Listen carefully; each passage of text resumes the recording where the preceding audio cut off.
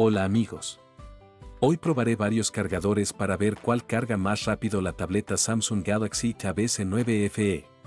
Cargador Samsung de 15 vatios, 25 vatios y 45 vatios y también probaremos un cargador Huawei de 22,5 vatios y un cargador Xiaomi de 20 vatios.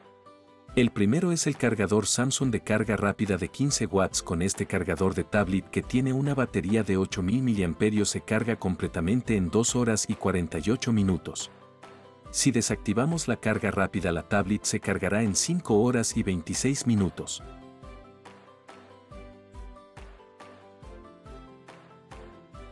El siguiente cargador que pruebo es el cargador rápido de Huawei de 22,5 vatios que se carga en 5 horas y 26 minutos. La tablet no reconoce el cargador rápido y prácticamente carga lento.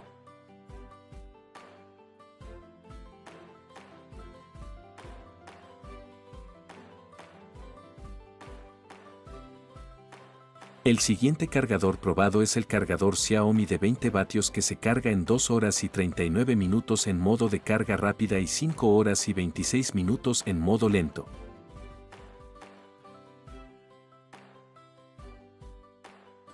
El siguiente cargador probado es el cargador Samsung de 25 vatios que se carga en 1 hora y 45 minutos en carga rápida y en 5 y 26 minutos en carga lenta.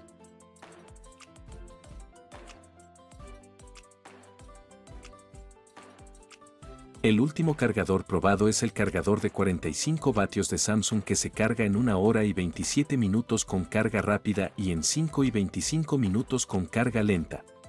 El cargador Samsung de 45 vatios carga más rápido con carga rápida, pero con carga lenta el tiempo es el mismo con todos los cargadores.